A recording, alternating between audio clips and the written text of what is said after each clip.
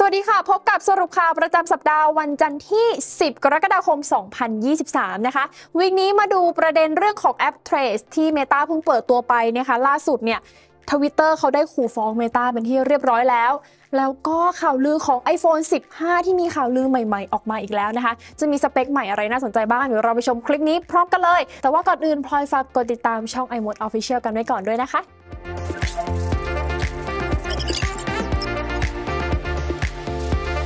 หลังจากที่แอป Trace ได้เปิดตัวไปแล้วเนี่ยก็เรียกได้ว่าเป็นกระแสแล้วก็ถูกพูดถึงในโลกโซเชียลเป็นอย่างมากเลยนะคะ ล่าสุดเนี่ยทีมงานในพจน์นะคะก็ได้ไปค้นข้อมูลมาว่าได้เคยรายงานข้อมูลเกี่ยวกับแอป Trace ที่มีข่าวลือว่ากำลังถูกพัฒนาไปเมื่อ 4 ปีที่แล้วค่ะ ย้อนกลับไปในปี 2019 นะคะ ในตอนนั้นเนี่ยมีข่าวลือว่า Instagram กำลังพัฒนาแอป Trace ที่เป็นแอปแชทหรือว่าแอปส่งข้อความที่ลักษณะเนี่ยจะคล้ายกับแอป Snapchat นะคะ ซึ่งในตอนนั้นเนี่ยข่าวลือบอกว่า แอป Threads จะเป็นแอปสำหรับการแชทกับเพื่อนสนิท รวมถึงเอาฟีเจอร์ Direct Message และเอา Close Friend จาก Instagram เนี่ยมาพัฒนาต่อ แต่ว่าแอป Trace ล่าสุดในตอนนี้ที่เราได้ใช้งานกันเนี่ย ลักษณะแอปจะเหมือนกับ Twitter มากกว่านะคะ แล้วก็ยังไม่มีฟีเจอร์ Direct Message หรือว่า DM ด้วยค่ะ สำหรับการเปิดตัวแอป Trace ในวันนี้นะคะ เรียกได้ว่าสร้างกระแสในสื่อสังคมออนไลน์เป็นอย่างมากเลยนะคะ มาซักเบิร์กเนี่ยเขาออกมาบอกว่า มีผู้ใช้เปิดใช้บัญชี Threads มากกว่า 30 ล้านบัญชีแล้วใน 24 ชั่วโมงแรกหลังจากที่แอปเปิดตัวค่ะ นอกจากกระแสของแอป Threads แล้วนะคะ ล่าสุด Twitter ได้ขู่ฟ้อง Meta แล้วค่ะ บอกว่าละเมิดทรัพย์สินทางปัญญาหลายอย่างเลย เดี๋ยวเราไปดูกัน Semafor นะคะได้รายงานข้อมูลว่าอเล็กซ์ สปิโรทีมกฎหมายของ Twitter เนี่ยได้ส่งจดหมายไปยังมาร์คซักเคอร์เบิร์กที่เป็น CEO ของ Meta นะคะ ใจความสำคัญเนี่ยก็คือการกล่าวหาว่า Meta ละเมิดทรัพย์สินทางปัญญาของ Twitter ค่ะ โดยมีรายละเอียดนะคะ ก็คือทวิตเตอร์เนี่ยได้กล่าวหาว่าเมตาจ้างอดีตพนักงานของทวิตเตอร์หลายสิบคนเลย เพื่อล้วงข้อมูลความลับ ข้อมูลทางการค้า ทรัพย์สินทางปัญญาของทวิตเตอร์เพื่อนำข้อมูลเหล่านี้นะคะ ไปพัฒนาแอป Threads เพื่อเลียนแบบทวิตเตอร์อย่างที่เราเห็นกันตอนนี้นะคะ แต่ว่าประเด็นเนี่ยก็คือในช่วงที่อีลอน มัสก์เข้ามาซื้อกิจการ แล้วก็เป็น CEO ของ Twitter ใหม่ๆ เนี่ยเขาก็ได้ไล่พนักงาน Twitter ออกไปหลายพันคนเลยนะคะ ซึ่งบางคนเนี่ยเขาก็ย้ายไปซกเมตาซึ่งการย้ายไปทำงานนั้นเนี่ยก็ไม่ได้ถือว่าเป็นการดึงตัวแต่อย่างใดค่ะและเอกสารของ Twitter นะคะ ได้ระบุว่าต้องการให้ Meta หยุดใช้ความลับทางการค้าของ Twitter ทันที และพร้อมที่จะเดินหน้าฟ้องร้องต่อศาลด้วยนะคะ ถ้าหากว่า Meta ไม่ทำตามค่ะ เหตุผลก็เพื่อต้องการไม่ให้ Meta ใช้ทรัพย์สินทางปัญญาของตัวเองนั่นเอง ทางด้านแอนดี้สโตนนะคะผู้อำนวยการฝ่ายสื่อสารของ Meta เนี่ยได้ออกมาชี้แจงว่าทีมพัฒนาแอป Threads เนี่ยไม่มีอดีตพนักงานของ Twitter แม้แต่คนเดียว และสิ่งที่ Twitter กล่าวหานั้นเนี่ยไม่ใช่เรื่องจริงค่ะ ด้านอีลอน มัสก์เขาก็ได้ออกมาทวิตข้อความเพิ่มเติมด้วยว่า การแข่งขันเป็นเรื่องที่ดี แต่การโกงนั้นไม่ดี ซึ่งอาจจะหมายถึงกรณีตามข่าวนี้ก็ได้ค่ะ อัปเดตข่าวฝั่ง Twitter และ Meta กันไปแล้วนะคะ เดี๋ยวเรามาอัปเดตข่าวฝั่ง Apple กันบ้างค่ะ ล่าสุดมาร์เกอร์แมนเผยว่า Apple ได้อัปเกรด iPhone ที่ใช้เป็น POS หน้าร้านจากเดิมเป็น iPhone 10 เปลี่ยนเป็น iPhone 14 ค่ะสำหรับ iPhone ที่ใช้เป็นเครื่อง POS นะคะ หรือว่าเครื่องคิดเงิน หรือว่าออกบินที่หน้าร้าน Apple Store เนี่ย จากเดิม iPhone 10 ก็จะเปลี่ยนเป็น iPhone 14 เพื่อให้พนักงานได้ใช้เครื่องที่มีประสิทธิภาพที่ดีกว่า ใช้แบตได้นานกว่า แล้วก็สามารถให้บริการลูกค้าได้ต่อเนื่องตลอดทั้งวันนะคะซึ่งเหตุผลหนึ่งที่ Apple ได้อัปเกรดเครื่อง POS นี้เนี่ยก็คาดว่าน่าจะมาจากการที่ iPhone 10 ไม่รองรับ iOS 17 เวอร์ชันใหม่แล้ว จึงทำให้ Apple นะคะจำเป็นที่จะต้องเปลี่ยน iPhone ให้พนักงานหน้าร้านได้ใช้อุปกรณ์ล่าสุดกว่าค่ะ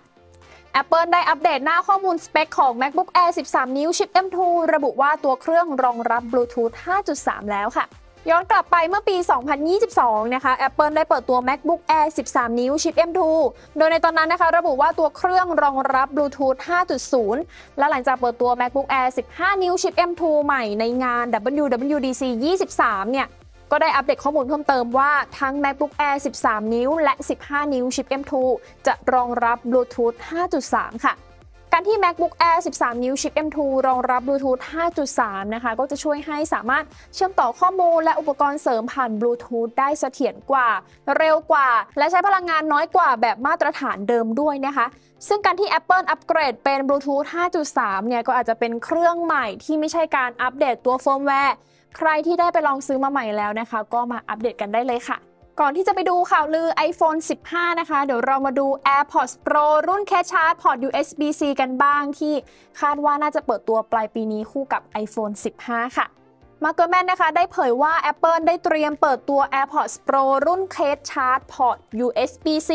พร้อมๆ กับการเปิดตัว iPhone 15 นะคะ ที่ลือว่าจะเปลี่ยนจากพอร์ต Lightning เป็นพอร์ต USB-C ด้วยค่ะ นอกจากนี้นะคะเกอร์แมนก็ยังเผยว่า Apple ได้เริ่มทดสอบฟีเจอร์การได้ยินบน AirPods เพิ่มเติมด้วยนะคะ ซึ่งก็น่าจะถูกใส่มาพร้อมกับ iOS 17 ซึ่งฟีเจอร์นี้นะคะ ก็จะเล่นโทนเสียงที่แตกต่างกันตามลักษณะการได้ยินของผู้ใช้แต่ละคน เพื่อใช้ในการตรวจสอบปัญหาการได้ยินของผู้ใช้นั่นเองค่ะส่วนในระยะยาวนะคะเกอร์แมนเผยว่า Apple ก็กำลังพัฒนาเซ็นเซอร์ด้านสุขภาพใหม่ๆด้วย ที่จะเอามาใส่ใน AirPods นะคะ อย่างเช่นการวัดอุณหภูมิร่างกายผ่านใบหูนั่นเองค่ะ AirPods Pro รุ่นล่าสุดในตอนนี้นะคะ ก็คือ AirPods Pro รุ่นที่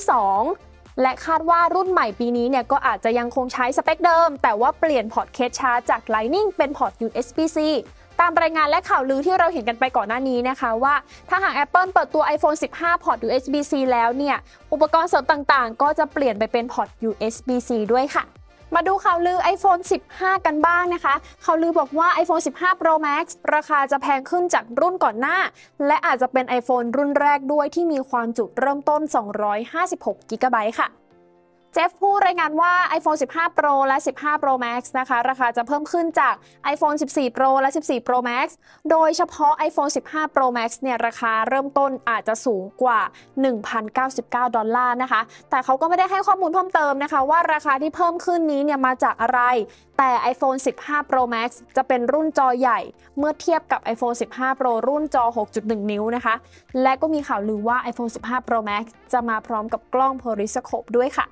สำหรับ iPhone 15 Pro และ 15 Pro Max นะคะ คาดว่าจะมาพร้อมกับกล้องหลัง 3 ตัวเหมือนเดิม ก็คือมีกล้อง wide กล้อง ultra wide และกล้องเทเลโฟโต้นะคะ แต่ iPhone 15 Pro Max นะคะ จะมีกล้อง periscope ที่จะช่วยให้สามารถซูมแบบ optical ได้ 5-6 เท่า เพิ่มขึ้นจาก iPhone 14 Pro ที่ซูมได้แค่ 3 เท่านะคะ นอกจากเรื่องกล้องแล้วเนี่ยก่อนหน้านี้ก็มีรายงานนะคะว่า iPhone 15 Pro และ 15 Pro Max เนี่ยความจุเริ่มต้น จะมีอยู่ที่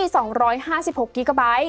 เพิ่มขึ้นจากรุ่น iPhone 14 Pro Max นะคะ ที่มีความจุเริ่มต้น 128 g b ค่ะ แล้วก็จะมีการอัปเกรดหลายอย่างเลยนะคะ อย่างเช่น วัสดุตัวเครื่องดีไซน์พอร์ต USB-C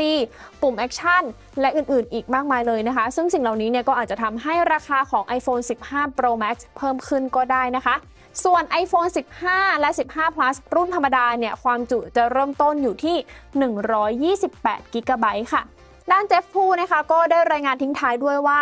iPhone 15 Series จะเริ่มผลิตปริมาณมากในเดือนสิงหาคมนี้ โดยในครึ่งปีหลังของปี 2023 นี้เนี่ยก็คาดว่าจะถูกผลิตออกมาราวๆ 84 ล้านเครื่อง โดยเน้นที่รุ่นโปรเป็นหลัก เพราะคาดว่าจะเป็นรุ่นที่ขายดีค่ะข่าวลือเนี่ยเผยว่าข้อมูลแบต iPhone 15 ทั้ง 4 รุ่น จะมีความจุเพิ่มขึ้นจาก iPhone